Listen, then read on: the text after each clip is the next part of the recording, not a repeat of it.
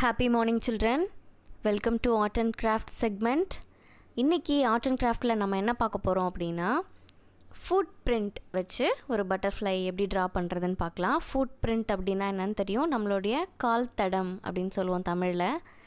So இதை use பண்ணி நம்ம ஒரு பட்டர்ஃப்ளை எப்படி ட்ரா பண்ணுறதுன்னு பார்க்க போகிறோம் இதுக்கு என்னென்ன திங்ஸ் ஃபஸ்ட்டு நம்மளுக்கு வேணும் அப்படிங்கிறத நம்மளுடைய சொல்லிடுறேன். So things we needed A four sheet இல்லைனா சார்ட் ஒயிட் கலர் சார்ட் இருந்தாலும் ஓகே ஏ ஃபோர் ஷீட் இருந்தாலும் okay and then poster colour இது எல்லாருமே மோஸ்ட்லி எல்லாருக்கிட்டேயுமே இருக்கும். நம்ம எல்லாருமே யூஸ் பண்ணியிருப்போம் குட்டியாக இருக்கும் இது என்கிட்ட கொஞ்சம் பெருசாக இருக்குது ஸோ நம்ம எல்லாருக்கிட்டேயுமே அது இருக்கும். அண்ட் தென் நான் மூணு கலர்ஸ் மார்க்கர் எடுத்திருக்கேன். வயலட் பிளாக் அண்ட் ப்ரௌன் அப்புறம் இந்த பெயிண்ட் பண்ணுறதுக்காக ஒரு ப்ரெஷ் எடுத்திருக்கேன். அப்புறம் அந்த ப்ரெஷ்ஷை வாஷ் பண்ணுறதுக்காக கொஞ்சமாக வாட்டர் எடுத்திருக்கேன். ஃபுட் பிரிண்ட் வைக்கணும் இல்லையா? ஸோ இப்போ என்னோடய ஃபுட் பிரிண்ட் நான் வைக்கிறேன் அப்படின்னா ரொம்ப பெருசாக இருக்கும். ஸோ தட் நான் என் பையனோட ஃபுட் பிரிண்ட்காக அவனோட லெக்ஸ் யூஸ் பண்ணிக்க போகிறேன் அண்ட் ஒன் மோர் திங் நமக்கு முக்கியமான ஒரு விஷயம் தேவை. அது வந்து பிளேட் பிளேட் தான் வேணும் அப்படின்னு இல்லை. உங்ககிட்ட இருக்கிற பிளாஸ்டிக் எக்ஸாம் பேடு கூட பழைய எக்ஸாம் பேடு கூட நீங்கள் யூஸ் பண்ணிக்கலாம். இந்த பிளேட் எதுக்காக அப்படின்னு பார்த்தோன்னா பெயிண்ட்டை வந்து நம்ம டேரெக்டாக லெக்கில் ஃபுட் பிரிண்ட்டுக்காக அப்ளை பண்ண போகிறது கிடையாது. அதுக்கு பதிலாக முன்னாடி நம்ம பெயிண்ட்டை வந்து பிளேட்டில் அப்ளை பண்ணிவிட்டு அதுக்கப்புறம் தான் ப்ரெஸ் பண்ணிக்க போகிறோம். இப்போ நான் என்னென்ன கலர் சூஸ் பண்ணுறேன்னு பார்க்கலாம். ரெட் எடுத்திருக்கேன் அண்ட் தென் க்ரீன் எடுத்திருக்கேன். ஏன்னா பட்டர்ஃப்ளை கலர் கலராக தான் இருக்கும் இல்லையா? So third one my favourite yellow and last I'm gonna pick என்ன ப யூ என்ன பிக் பண்ணுறதுன்னு எனக்கும் கன்ஃபியூஷனாக தான் இருக்குது ஏன்னா எல்லாமே சேம் ஷேடில் இருக்குது so that finally I'm going to pick blue okay இந்த நாலு கலரும் யூஸ் பண்ணி நான் பட்டர்ஃப்ளைக்கு பெயிண்ட் பண்ண போகிறேன் ஓகே. இப்போது ப்ரெஷ்ஷை யூஸ் பண்ணி நம்ம பெயிண்ட் பண்ண ஸ்டார்ட் பண்ணலாம். இப்போது நான் ரெட் கலர் எடுத்து எடுத்திருக்கேன். எடுத்துட்டு இந்த பிளேட்டில் ப்ராப்பராக பெயிண்ட் பண்ண போகிறது கிடையாது. அதுக்கு பதிலாக ரேண்டமாக தான் பெயிண்ட் பண்ணிகிட்ருக்கேன் ஏன்னா எனக்கு ப்ராப்பராக பெயிண்ட் பண்ணவும் தெரியாது.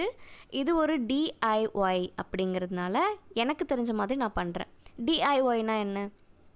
நம்ம நிறைய கேள்விப்பட்டிருப்போம். டிஐஒய் கிராஃப்ட்ஸ் வந்து எல்லாருமே பண்ணிகிட்ருப்பாங்க யூடியூப்லாம் பார்த்துருப்போம்.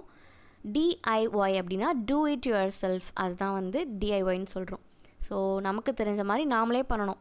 யாரோட ஹெல்ப்பும் இல்லாமல் அண்ட் செகண்ட் கலரை நான் வந்து ப்ளூவை சூஸ் பண்ணியிருக்கேன். ப்ளூ எடுத்து அதையும் ரேண்டமாக தான் நான் இங்கே வந்து பெயிண்ட் பண்ணிகிட்ருக்கேன் நெக்ஸ்ட்டு கலர் சூஸ் பண்ணுறதுக்கு முன்னாடி நான் ப்ரெஷ்ஷை வந்து வாட்டரில் வாஷ் பண்ணிவிட்டு நல்லா தொடச்சிட்டு அடுத்த கலர் எடுக்கிறேன். இப்போது மொபைல் நான் ஹேண்டில் பண்ணிகிட்டு இருக்கிறதுனால என்னால் ப்ரெஷ்ஷை சரியாக வாஷ் பண்ண முடியல. ஸோ தட் நான் இப்போது எல்லோவை எடுக்கும்பொழுது மேபி அது டபுள் ஷேடாக கூட இருக்கும்னு நினைக்கிறேன். எஸ் அஃப்கோர்ஸ் கொஞ்சம் ப்ளூயிஷ் எல்லோவாக தான் இருக்குது it's okay no problem but அதுவும் ஒரு டிஃப்ரெண்ட்டான பட்டர்ஃப்ளையாக இருந்துட்டு போட்டோம். ஓகே இப்போ நான் வந்து எல்லோ கலர் எடுத்து அதையும் வந்து ரேண்டமாக தான் பெயிண்ட் பண்ணிகிட்ருக்கேன் இப்போது இதுக்கு உங்களுக்கு ஒரு டவுட் வரலாம். இப்போது போஸ்டர் கலர் தான் கொடுக்கணுமா? அப்படின்னு உங்களுக்கு ஒரு டவுட் வரலாம்.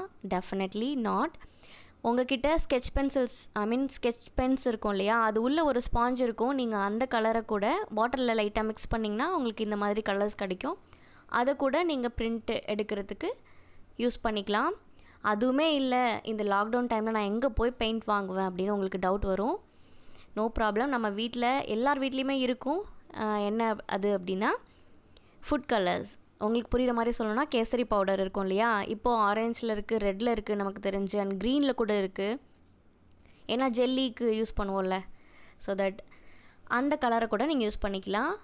இப்போது நான் கோல்டன் கலர் எடுத்து இந்த கேப் இருக்குல்ல அதெல்லாம் அப்படியே சும்மா ஃபில் பண்ணுறேன் and don't forget to wash your hands and foot with soap அது ரொம்ப முக்கியம். ஏன்னா கண்டிப்பாக கழுவ மறந்துடாதீங்க. சோப் போட்டு வாஷ் பண்ணிவிடுங்க இது வந்து ஈஸியாக வந்து போயிடும். கையிலலாம் ஒட்டிக்குமா அப்படின்னு உங்களுக்கு டவுட் வேணாம். ஓகே ஃபைனலி நமக்கு பிரிண்ட் வைக்கிறதுக்கான ஒரு டெக்ஸ்டர் கிடச்சிருச்சு. ஸோ அதை பிளேட்டில் வச்சுருக்கோம். இப்போ என்ன பண்ண போகிறேன் அப்படின்னா நம்ம லெக்கில் ப்ரெஸ் பண்ணிவிட்டு அந்த ஏ ஃபோர் ஷீட்டு இல்லை சார்ட் இருக்கு இல்லையா? அதில் ஒரு ப்ரெஸ் கொடுக்கணும். இப்போ நீங்கள் முக்கியமான ஒரு விஷயம் கவனிக்கணும். என்ன அப்படின்னா நான் லெஃப்ட் லெக் எடுத்து இப்போது ப்ரெஸ் கொடுக்குறேன். இது என்ன பண்ண போகிறேன் அப்படின்னா பட்டர்ஃப்ளையோட ரைட் சைடு விங்ஸ்க்காக நான் யூஸ் பண்ண போகிறேன் அதோட ரைட் சைடு ரெக்கை இருக்கும் இல்லையா? அதுக்காக நான் யூஸ் பண்ண போகிறேன் பாருங்கள் காலில் நல்லா ஒட்டியிருக்கு. ஸோ லெஃப்ட் லெஃப்ட் ஃபுட்டோட பிரிண்ட் எடுத்து நான் என்ன பண்ணுறேன் அப்படின்னா பட்டர்ஃப்ளையோட ரைட் சைடு விங்ஸ்க்காக ப்ரெஸ் பண்ணிக்கிறேன். நீங்களும் அப்படி தான் பண்ணணும்.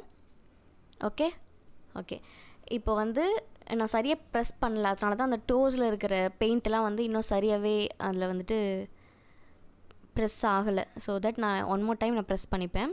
அண்ட் தென் இப்போ நான் ரைட் லெக் எடுக்கிறேன்.